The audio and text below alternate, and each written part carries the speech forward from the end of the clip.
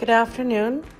Today I'm going to walk you through the process of creating a voice memo and uploading it to Blackboard for your speaking portfolio. The first thing that you want to have access to is Google Drive.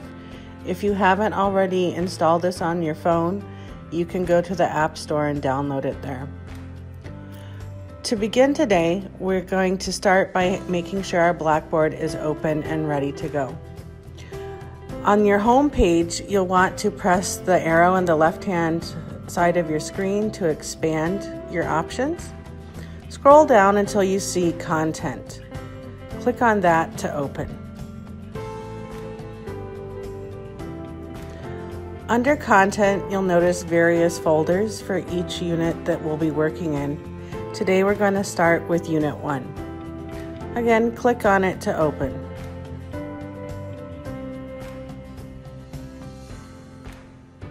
Scroll through the folder until you come to Portfolio Unit 1. Click to open, and again scroll down, but this time scroll until you see this rectangular box that says attach files. All right, now we have Blackboard open.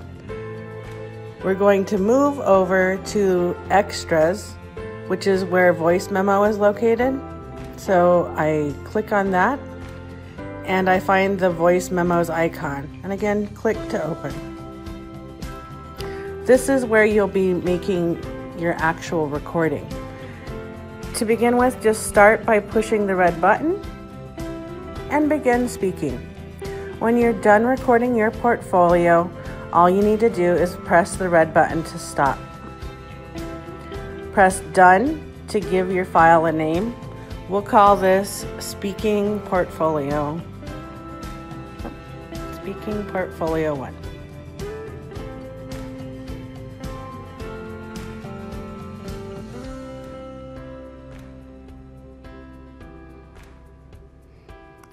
Click Save. Now you need to open this again, and this is where you need to have access to Google Drive. Hit the Upload button on the left hand side and copy to your drive. Hit Save. and you can see that it has uploaded right here on your screen. All right, now go back to Blackboard. Click on Browse My Computer.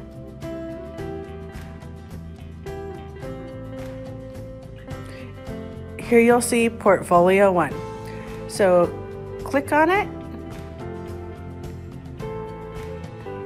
Wait to make sure that it has been attached. Once you see that Portfolio 1 has attached, go ahead and click the Submit button at the right hand bottom corner of your screen. Since I'm just doing a test, I'm not actually going to click Submit. But when you do, you'll see a purple banner that scrolls across the top of your phone that says Success. And this lets you know that you have completed your portfolio. I hope these steps have been helpful. Thank you so much for your time.